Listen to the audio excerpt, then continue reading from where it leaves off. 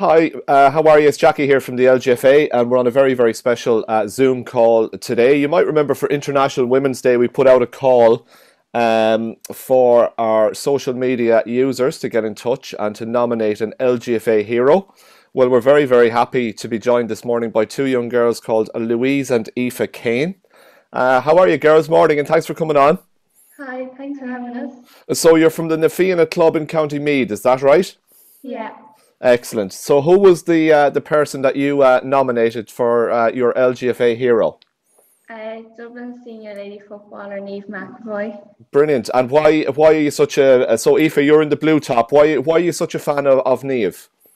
Um, I suppose over the last couple of months or so, I've just really loved Niamh's style of play and, and how she plays and her attitude towards the game. Brilliant. And Aoife, are you a fan as well? Uh, Louise, sorry, are you a fan of Eve? Are you a fan of Niamh's as well? Uh, yeah. Excellent, excellent. So, Aoife and Louise, we're just going to see who's in our uh, waiting room here at the moment, in our in this virtual world that we're living in, and it is none other than Niamh McEvoy who's connecting to audio. Good morning, uh, Niamh. Hope you can hear us. Hi guys. How are you? Good. I'm just trying to um, set up my uh, earphones here, so can you just bear with me for one second? No problem. We can hear you perfectly there, Niamh. We can actually hear you perfectly. If you want to stay like that, there's no problem whatsoever. Um, yeah, I'll just try and connect just because um, everyone can hear you guys. How are you? Good. How are you? Very good, thanks. Good. That So, in the best traditions of, of live um, pieces, Niamh, we are recording there, but you can work away and get those headphones start, sorted out anyway. But just while you're doing that, Niamh, so who we have here are sisters Aoife and Louise Kane. They're from the Na Fianna Club in County Meath. And when we put out a call on International Women's Day to speak to your hashtag LGFA hero, um, one of the strong nominations that came in was your good self. And I Okay, think great. Hi, girls. So I was Hi. chat- so I was chatting to Aoife's in the blue top and Louise is in a I think it's a black and amber top. Her mum Colette was saying. So uh, Niamh, Aoife is going to explain just why uh, you were the, the, the player that she uh, nominated. Aoife, over to you. Thanks.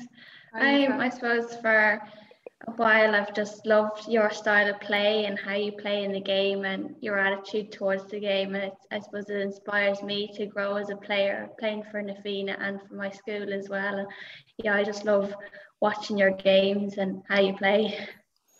Aoife, thank you so much. That's so kind. You're being so kind and so generous to me. Um, um, what was I going to say? What position do you play yourself? Are you a forward? Uh, midfield, Oh, very good. And you're under what? What age group? Sorry. uh, under 15 and 16.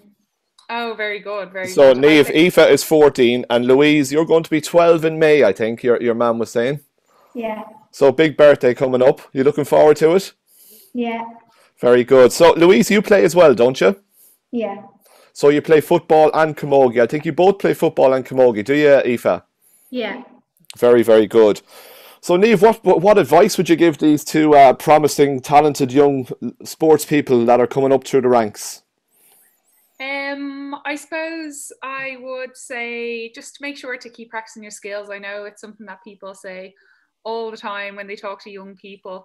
Um, but the one that I would focus on the most is um, I know everyone always says practice your weakness, and of course that's really important because you know you want all your aspects of your game to be strong. But I think it's really, really important to practice your strengths um, and make sure you become like a really, really good master at that. So if your strength is at the current age group you're in, if your strength is, you know, high fielding, continue to practice that. Don't let that go by the wayside and think, I, I'm really good at that because you want to be great at it or you want to be push even further than that and be be the best at it, if that makes sense. So I know everyone always says practice your weaknesses, and that of course is really, really um important and it's something that I would definitely advocate, you know, try and make sure you're using both feet and both hands at this early age. Like you're at you have such a good opportunity to develop as a as a whole um footballer.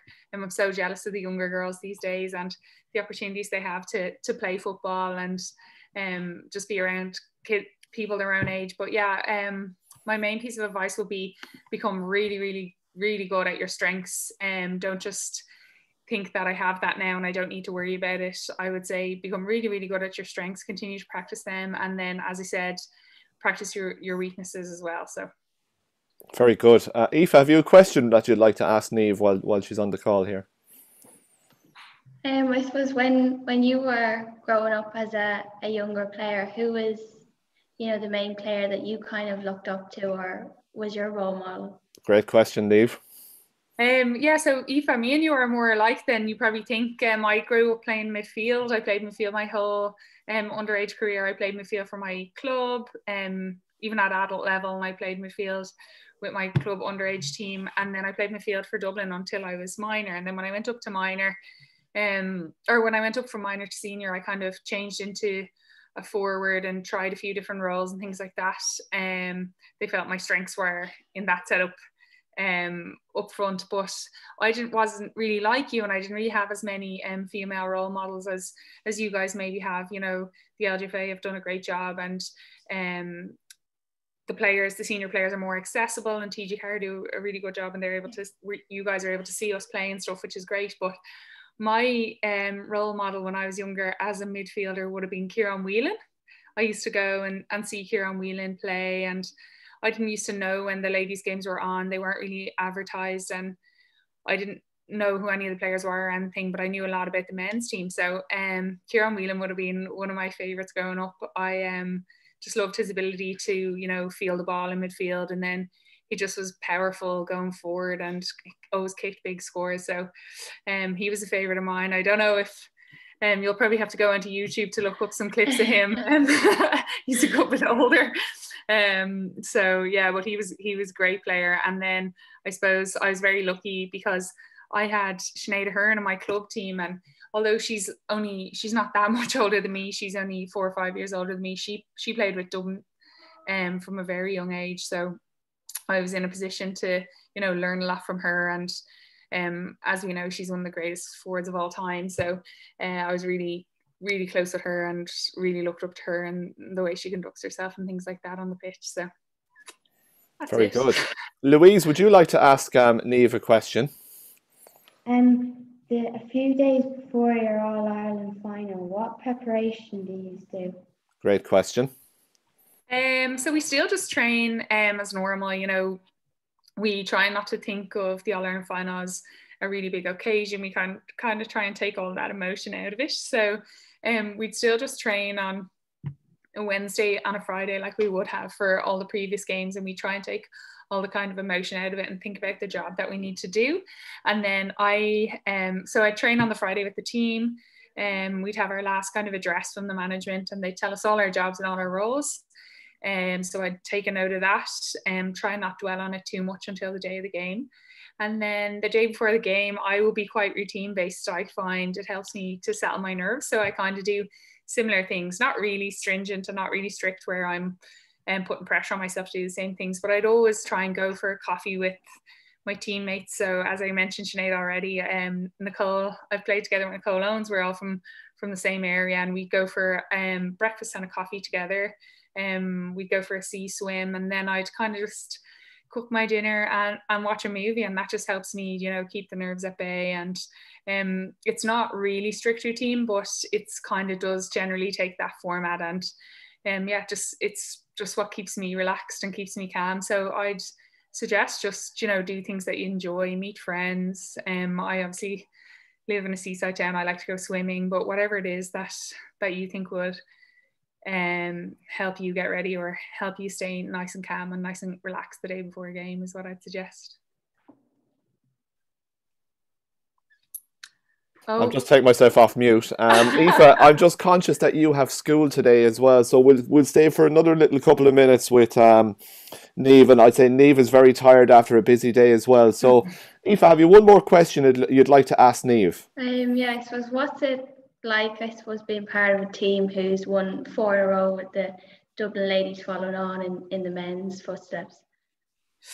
Um, yeah, great question. Um, you know, it's extra special for me because I'm that bit older than some of the girls who've only ever experienced success. So there is some girls in our team who've only ever won All Ireland finals, being involved with the Dublin team. But I'm I'm getting on now, um, and I would have had um, some very significant losses that um, at that time felt like they were going to shape my career, and I wasn't going to be able to ever get over the line. So um, you know, it's really special, and the group was really special anyway. And I would have been friends with lots of these girls for life, regardless of of um, having won or not. But I do think that um, silverware kind of solidifies that bond. So um, we'll be able to look back in like 10 or 20 years um, on like the anniversary of some of the victories we have and just share those special, reminisce on those special memories together. And I think um, the biggest thing that I've taken from it is just human connection and um, the friends I've made and the memories we've we've created together. And um, so I suppose that's the biggest thing for me. You know, sport is a really good way of meeting people who have common goal and a common interest. And I just um, encourage you two girls to keep it up for for as long as you can. And um, you know, it's a really really nice way of meeting people, and you create great friendships and great memories. So the biggest thing for me really is the connections I've made with with the great people I've been involved with. So very good. That. And Louise, have you one question as well before um before Niamh has to pop off? Um what's the highlights of your career? That's a good question for a player that's won so much, Louise. um I think um a highlight of my career would be obviously um 2010 was was a big win. I was involved in the team in 2010 that won the first ever All Ireland, but I was very young and I don't think I really appreciated it. So I'd have to say a highlight. Um, I thought I kind of did take it for granted. I have to admit. Um, so a highlight I do think would have been in 2017. So having lost the three All Ireland finals previous to that, and then finally getting over the line in 2017 was was really special.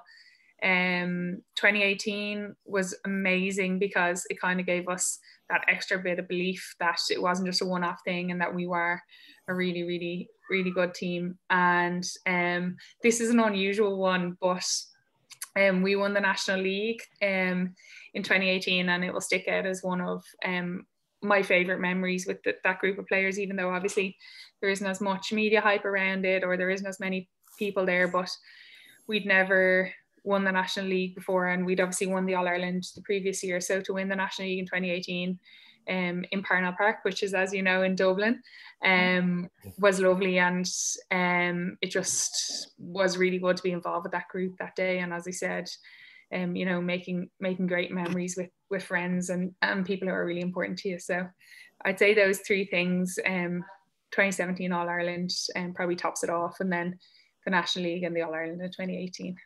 Wow.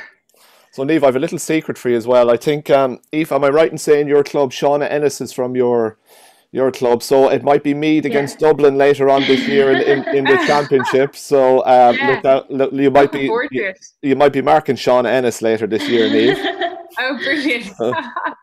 um, girls, I just want to say thank you so much. Um, you know, for nominating me to come on and have a chat with you. I'm I'm so grateful and um, I'm so proud of all the the young girls who are, um, you know, out there playing our sport and helping it grow and uh, you know just make making the whole sport in general become better and better and you know the standard of the game has really risen over the last number of years and it's it's girls like yourselves who are invested at such a young age that are making making such a big difference um for for our sport ladies football and, and for women in sport in general so keep up all the good work and yeah if you ever need anything don't be afraid don't be a stranger yeah, would it be lovely if we could arrange a little meeting when, when everyone when you're home, Niamh, and everything is back to some sense of normality? It'd be lovely to to link yeah, you exactly up with, with, with, with Aoife yeah. and Louise.